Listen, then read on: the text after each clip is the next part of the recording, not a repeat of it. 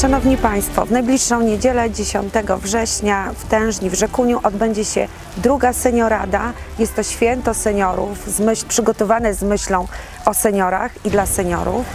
Na scenie zaprezentuje się wielu artystów amatorów z różnych domów seniora z Ostrołęki, z Rzekunia, e, z Laskowca, z Borawego, z Myszyńca, z Goworowa. Będziecie Państwo mogli podziwiać piękne występy. Przygotowany będzie również poczęstunek. Myślę, że e, takim punktem bardzo ważnym będzie prelekcja wygłoszona przez przedstawiciela e, Miejskiej Komendy w Ostrołęce na temat bezpieczeństwa seniorów, e, a głównie metody na wnuczka.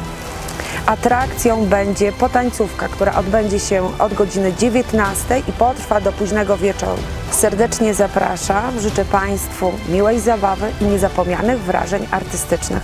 Ewa Szatanek, Radna Miasta Ostrołęki.